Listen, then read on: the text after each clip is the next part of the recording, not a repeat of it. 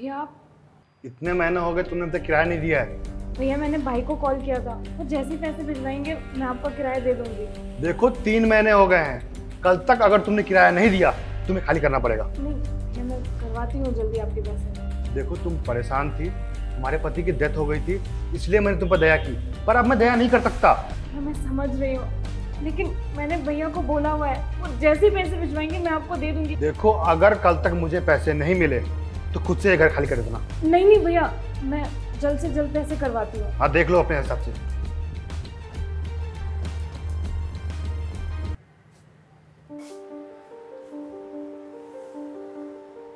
भाई आज मकान मालिक फिर से आए थे और वो किराए के पैसे मांग रहे थे। इस बार तो धमकी भी देके गए कि अगर पैसे नहीं दिए तो घर खाली करवा देंगे। आप कैसे भी करके पैसे करवा दो ना आज नहीं तो मैं कहाँ जाऊँगी? और आपको तो पता ही है कि मेरा यहाँ अपना कोई है भी नहीं। अब कैसे भी करके आज पैसे भिजवा देना।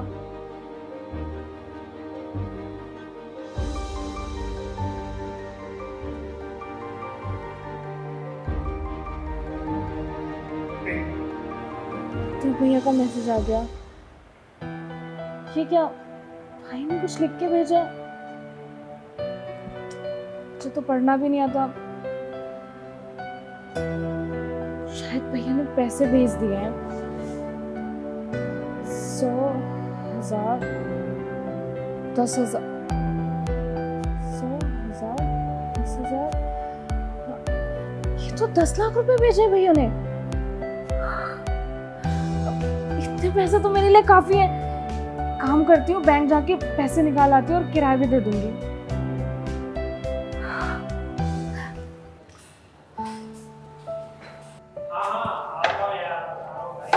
अरे भैया एक बार आप ये देख के बताएँगे क्या? एक मिनट रुक। मेरे भाई ने पैसे भेजेंगे दस हज़ार है या दस लाख? हाँ मैं देख लेता हूँ एक बार। मैं ताला लगा के आती हूँ ठीक।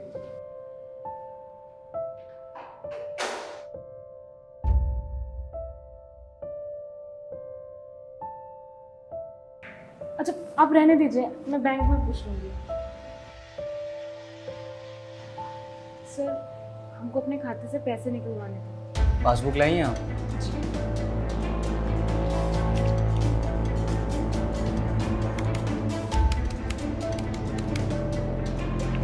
आपके अकाउंट से पैसे निकल चुके हैं। पैसे निकल चुके हैं? साथ में तो क्या हुआ मैडम? अरे मैडम! भैया भैया अरे आराम से हुआ क्या? इतनी परेशान क्यों? हो? भैया आज हम आपको किराए दे रहे थे। हमारे भाई ने पैसे ही भेज दिए थे और हम पैसे निकलवाने के लिए बैंक जा रहे थे। पर हम जैसे ही बाहर निकले हम एक आदमी मिला यहाँ पे। हमने उसको अपना फ़ोन दिखाया कि भाई ने कितने पैसे भेजे हैं और उसने हमारे सारे पैसे निकाल लिए हमारे खाते से। पैसे निकाल लिए? पर किसने? वो आदमी ऊपर ही रहता क्योंकि हमें यहाँ पे मिला था वो।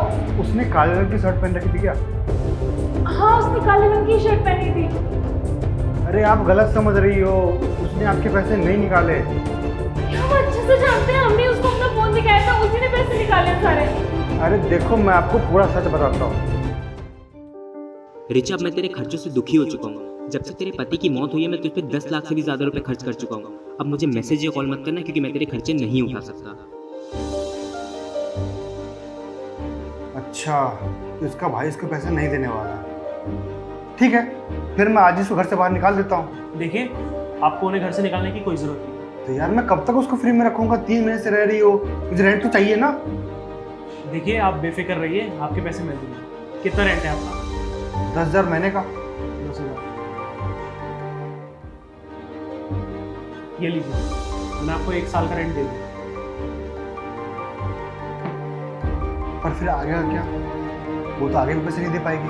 कोई बात नहीं आप मुझे बता दीजिएगा मैं उसका रेंट पे कर ठीक है जैसे आपकी इच्छा।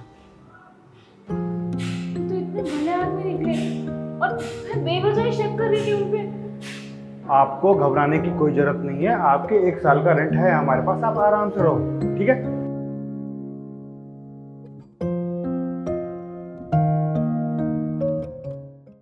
ज़ोर से बोलो। हैप्पी